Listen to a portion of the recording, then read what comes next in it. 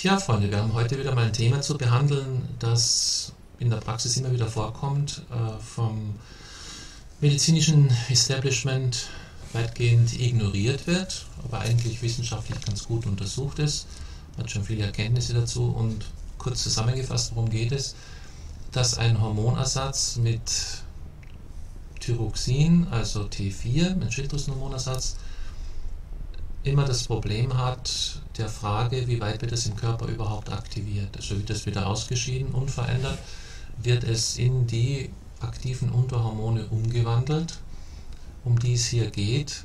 Und etwas, was ja auch kaum beachtet wird, ist, dass es knapp 30 Hormone gibt, die im Körper Wirkung zeigen, die alle aus dem T4 theoretisch hervorgebildet äh, werden können, was aber je mehr Schritte dafür notwendig sind, umso weniger stattfindet. Darüber habe ich schon öfters gesprochen.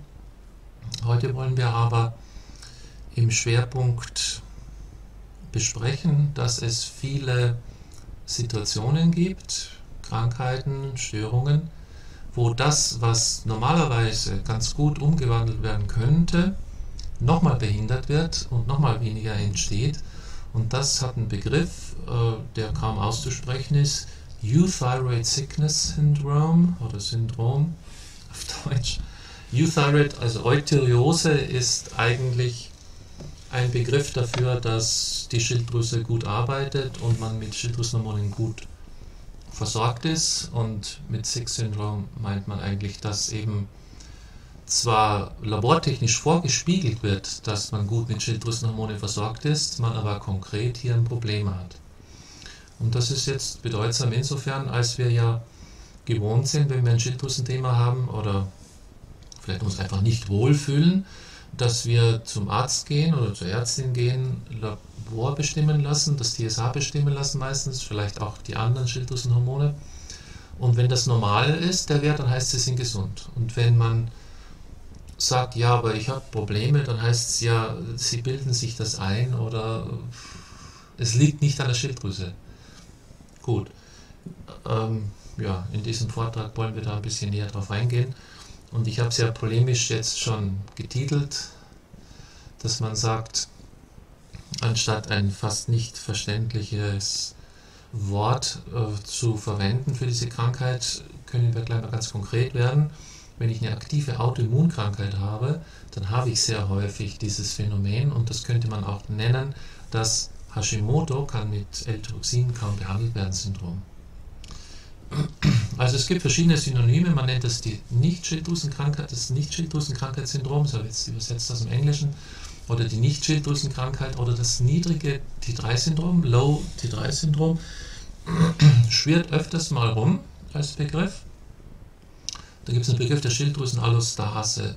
Damit meint man ja auch wieder das Gleiche, dass eigentlich die Schilddrüse zwar gut arbeitet, aber was ihre Arbeit jetzt im Körper so bewirken kann. Das ist, kann man den Hormonspiegeln ablesen, ist dann reduziert.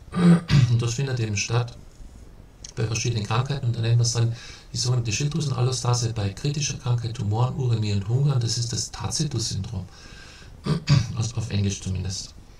Man sollte das vielleicht also jetzt mal ein bisschen verklaren, indem man sagt, man kann dieses Syndrom nehmen, dass man kann einen Laborwert nicht ablesen, wie man mit Schilddrüsenhormonen versorgt ist, Syndrom. Also wir sollten endlich aufhören, nur Laborwerte zu bestimmen und äh, in der Interpretation von Laborwerten diesbezüglich dann unsere Schlüsse ziehen. Und wenn man es noch einen Schritt weiter macht, dann könnte man sagen, das ist, dass wenn ich eine Autoimmunkrankheit habe mit LT nicht behandelbar Syndrom, aus verschiedenen Gründen, darauf wollen wir ein bisschen eingehen. Es handelt sich also um eine Veränderung im Schilddrüsenhormonstoffwechsel, der bei bestimmten Situationen eintritt, ohne dass die Schilddrüse selber erkrankt ist. Und dann ist eben die Frage, warum? Warum funktionieren diese Hormone weniger? Warum finden wir einen niedrigeren Spiegel von T3, was als das einzige aktive Hormon so bestimmt wird? Und das ist natürlich der erste Verdacht, dass es jetzt die Steuerhormone betrifft. Normalerweise ist das Gehirn dafür zuständig, ist der Hypothalamus dafür zuständig, das Thyrotopiin-Releasing-Hormon zu bilden und dann bestimmt dann äh, der Spiegel an diesem TAH, wie viel TSH oder Thyrotopiin entsteht. Und je höher das TSH steigt, desto mehr müsste die Schilddrüse arbeiten und desto mehr T3 müsste auch gebildet werden. Okay, vielleicht ist dort die Störung. Und dann weiß man, dass manche Medikamente Störwirkungen machen, darauf werden wir nachher kurz eingehen. Ja, okay, und dann gibt es die sogenannten dyshomostatischen Veränderungen, was das immer auch bedeuten soll. Aber kurz zusammengefasst, wir sehen, dass das FT3 relativ niedrig ist, wenn wir das bestimmen lassen, und dass FT4 und TSH gleich bleiben, obwohl ein niedriges T3 eigentlich ein Hinweis wäre, dass die Versorgungslage im Körper nicht so gut ist mit Schilddrüsenhormonen. Da müsste das TSH ansteigen und mit der TSH, äh, dem TSH-Impuls, wenn der stärker wird, müsste auch wieder mehr Produktion von Schilddrüsenhormonen passieren, was man am T4 ablesen könnte. Das findet aber nicht statt. Und welche Situationen können das auslösen? Da haben wir eine breite Palette. Also man findet das Phänomen öfters im Krankenhaus, wenn jemand schwer erkrankt ist. Also er geht mit Herzversagen, mit Herzinfarkt äh, auf die Intensivstation, dann haben die meisten das oder eine große Anzahl. Man findet es bei Lungenentzündungen, bei Nierenversagen. Man findet es aber auch bei Phänomenen, die öfters mal vorkommen vor allem bei Frauen, zum Beispiel in der Schwangerschaft. Schwangerschaft soll ja keine Krankheit sein, warum ist es dort so? Da geht es ein bisschen um Spekulationen, was das bedeuten könnte. Und da gibt es jetzt generell das Phänomen, dass Ausnahmesituationen hormoneller Art so, solche Veränderungen hervorrufen, wo dann auch immer wieder mal das RT3 ansteigt, dieses Reverse T3, das gerade in früheren Jahren sehr viel beachtet wurde, das eigentlich eine blockierende Wirkung hat. Es hat eine bremsende Wirkung auf die Nebennierenfunktion zum Beispiel. Und wenn ich dauerhaft sehr hohes RT3 habe, dann kann ich weniger gut auf Stresssituationen reagieren und eingehen. Warum das jetzt zum Beispiel in einer Schwangerschaft so diese Konstellation auftreten könnte, ist in dem Sinn noch nicht richtig verstanden. Ein ähnliches Phänomen finde ich interessanterweise, wenn ich Training mache. Also dieses Euthyroid 6 Syndrome ist ja so vor 50 Jahren das erste Mal so ein bisschen aufgetaucht als Wahrnehmung eines Phänomens, das im Ausdauertraining öfter stattfindet. Also Spitzensportler, die viel trainieren, die haben das auch. Und das kann in verschiedene Richtungen gehen, aber es kann eben passieren, dass das T3 dann relativ niedrig ist, aber T4 und TSH nicht darauf reagieren. Das findet bei Fehlernährung statt, bei Hunger, wenn man dann auch stark Gewicht verliert, also gerade wenn ich so eine, ein Untergewichtsphänomen habe, das kommt aber auch vor, wenn jemand Übergewicht hat. Also nicht mal da hat man so eine ganz klare Erkenntnis, warum das stattfindet. Und dann, das ist interessant, das wird im deutschsprachigen Internet praktisch nicht diskutiert, aber kaum geht man auf das englischsprachige Internet und sucht dann Daten zu diesem Phänomen, da wird sofort angeführt, dass das bei Autoimmunkrankheiten stattfindet dass das bei chronischer Erschöpfung stattfindet, dass das bei Depression festgestellt wird, gerade bei einer wahrnehmbaren, sehr starken Depression, also eine Major Depression, und bei Infektionen. Und jetzt sind wir plötzlich in diesem Bereich, äh, wo wir ja sehr häufig eine akute, aktive Hashimoto finden und die ja bei sehr vielen Menschen stattfindet. Hunderttausende sind das sicher in Deutschland, die momentan darunter leiden. Das ist ein Autoimmunphänomen, das oft im Vorfeld eine Virusentzündung hat Epstein-Barr-Virus-Infektion, auch bei Covid-19 hat man es jetzt gefunden. Also Infektionen. Das ist bei Menschen, die eher davon betroffen werden, weil sie in der Phase einer chronischen Überlastungssituation sind, also die Nebennieren zu stark beanspruchen und schon eine Nebennierenschwäche haben und schon in einem Burnout vielleicht auch gelandet sind. Ja, und die nicht selten auch Beschwerden einer Depression haben. Das heißt, wir sind hier in einem Themenfeld, wo dieses Euthyroid Sickness Syndrom stattfindet, ähm, das wir behandeln müssen, wenn jemand jetzt eine akute Hashimoto hat und diese Hashimoto führt dann zu einer Schilddrüsenschwäche. Und wenn man dann zum Arzt geht, ist einfach die Frage, was kann ich labortechnisch hier konkret feststellen? Und dort gibt es eben einige, die dieses Syndrom schon im ausgeprägten Maße haben und dann ist das TSH gar nicht so hoch. Ja, aber am niedrigen T3 könnte man schon Hinweise darauf finden, dass es sich um dieses Problem handeln könnte. Und jetzt äh, wäre das wieder ein starkes Argument dafür, was ich eben immer wieder propagiere, dass man mit der Körpertemperatur und der Art der Beschwerden festhält, was an Störungen erlebt wird und sich auch objektiv in einer Störung der Temperaturbildung aufgrund einer mangelnden Wirksamkeit von Schilddrüsenhormonen darstellt. Das heißt, dass man sich nicht nur auf die Laborwerte verlässt. Es geht im Grunde genommen auch darum, dass wir in der Diskussion über Schilddrüsenthemen leider immer noch, immer wieder nur über T4 sprechen, das was es als L-Tyroxin als Hormonersatz gibt, und über das T3 als aktives Hormon, obwohl man weiß, dass das Diodtyronin, äh, das 3,5, Diathermonie. T2 viel stärkere Wirksamkeit entfaltet im Körper als das T3. Und im Euthyroid Sickness Syndrom hat man gesehen, dass einige davon einen Anstieg von dem T2 haben. Als Ausdruck der Not und eines Hormonbedarfs. Dieser Laborwert wird aber gar nicht gemessen. Und was jetzt Menschen mit einer akuten Hashimoto haben, ist, dass sie insgesamt eine Schwächung der Schilddrüse haben. Das heißt, sie bilden schon mal weniger von den Hormonen, die sie brauchen. Wenn sie aber dann das LD bekommen, haben sie hier ein Hormonpräparat, das in dieser besonderen Situation des Euthyroid Sickness Syndroms viel schlechter noch verstoffwechselt wird, als bei jemand, der es vielleicht gar nicht so braucht und nicht in dieser Autoimmunthematik befangen ist, nicht so schwer krank ist. Weil je schwerer man krank ist, desto weniger wirkt dieses Hormonpräparat. Und da gibt es eine klare Alternative, das wäre jetzt vom Schwein oder Rind verfügbare getrocknete Schilddrüsenpräparat, nennt man Schilddrüsenextrakt oder Vollschilddrüse kann man zum Teil sogar rezeptfrei im Internet schon bestellen. Und das ist eine klare Alternative, weil in diesen getrockneten Schilddrüsen eines gesunden Säugetiers, kann man jetzt mal so pauschal sagen, die benötigten aktiven Hormone ja prinzipiell mal schon vorhanden sind, weil die natürlich nicht an einem Euthyroid Sickness Syndrom leiden, zumindest wenn es keine sehr stark gequälten Masttiere sind. Darüber müsste man auch noch sprechen.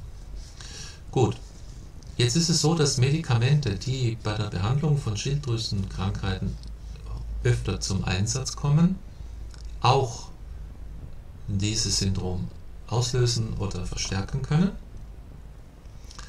Und da habe ich jetzt äh, schon mal das Phänomen, wenn ich ein jodhaltiges Kontrastmittel einsetze, weil jemand Beschwerden hat, wenn ich Propranolol einsetze, das wird häufig gemacht, wenn jemand eine Überfunktion hat oder Herzklopfen hat, wird dieser ähm, Beta-Blocker eingesetzt, um den Herzschlag zu verlangsamen. Diese Einflüsse vermindern die Umwandlung von T4 in T3, das heißt, das hat auch schon mal zur Folge, dass von einem dieser wichtigen aktiven Schilddrüsenhormone weniger entsteht. Und dann gibt es oft das Phänomen, dass Corticosteroide gegeben werden, also Cortisonabkömmlinge. Und die haben die Wirkung, dass T4 und TSH dadurch gesenkt wird.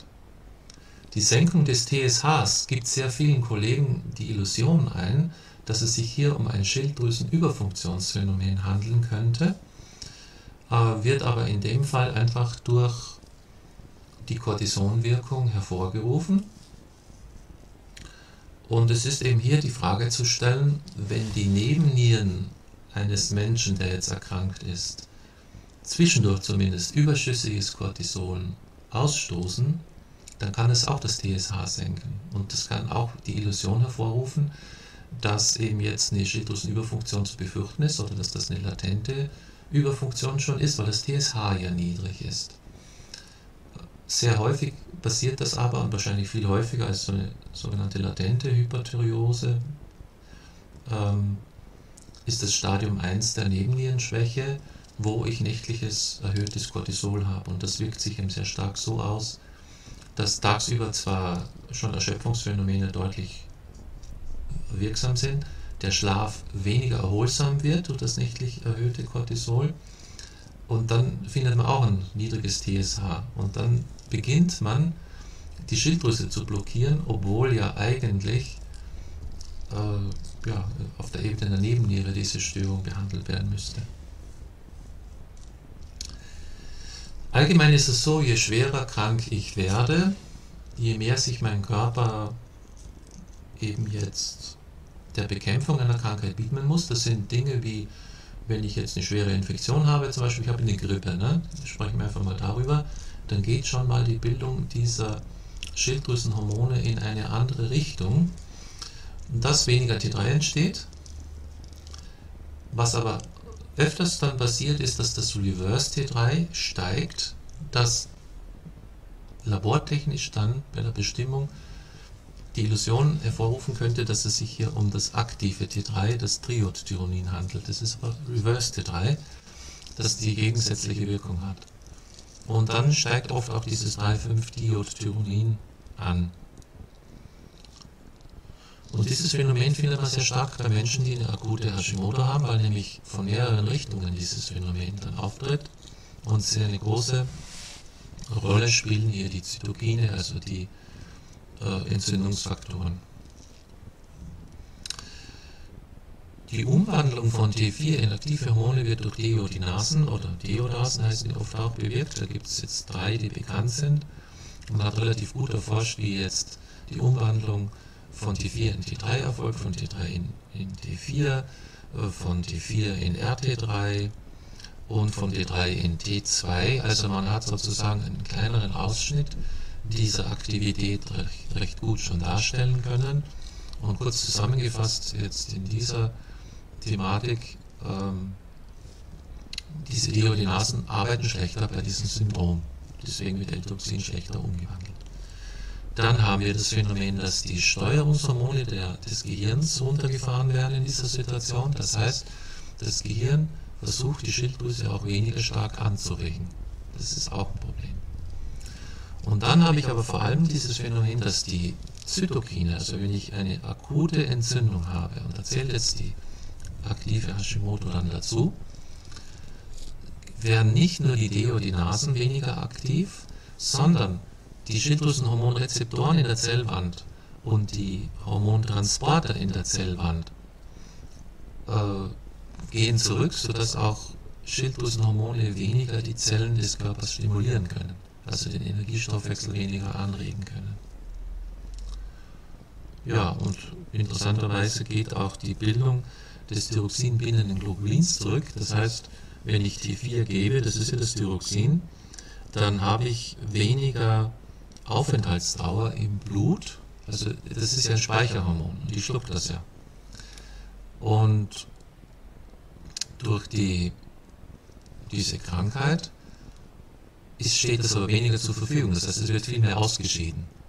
Und das ist ein sehr interessantes Nebenphänomen dieser Erkrankung, dass nämlich äh, Sportler auch eine niedrigere Halbwertszeit dadurch haben von T4. Das heißt, dieses Speicherhormon hat eine kürzere Aufenthaltsdauer im Körper, weil eben diese Eiweißbindung im Blut verschwindet. Was ist jetzt die Lösung? Ja, man hat versucht, bei Menschen gerade, die fehlernährt waren, Nährstoffe zuzuführen. Das scheint eine gewisse Wirkung zu haben. Man hat das klassische Kombipräparat T3 und T4 versucht anzuwenden. Sind halt von 27 Hormonen nur zwei. Hat nicht so gut funktioniert. Deswegen auch hier wieder die Frage zu stellen, könnte man nicht hier mal die Forschung bezüglich Vollschilddrüse und Schilddrüsenextrakt ausweiten es ist sehr zu erwarten, dass das Angebot von allen benötigten aktiven Hormonen hier hilfreich sein könnte. Es wird bestätigt durch die Behandlungspraxis über viele Jahre, die ich habe. Auch viele, die ähm, anwenden dieses äh, Hormonersatzpräparat, berichten es selber, aber auch Therapeutinnen, die damit tätig sind, können es auch bestätigen. Also ich denke, es ist eine starke Evidenz in der Behandlungspraxis da. Könnte man alles schön mit wissenschaftlichen Studien dokumentieren. Die bisherige wissenschaftliche Abklärung über die Wirksamkeit von Schilddrüsen, Extrakt und Vollschilddrüse sind ein bisschen dürftig. Das sind einfach nur so beginnende Beobachtungen, die allerdings zeigen, dass es wirkt, gut verträglich ist und viele Vorteile bringt.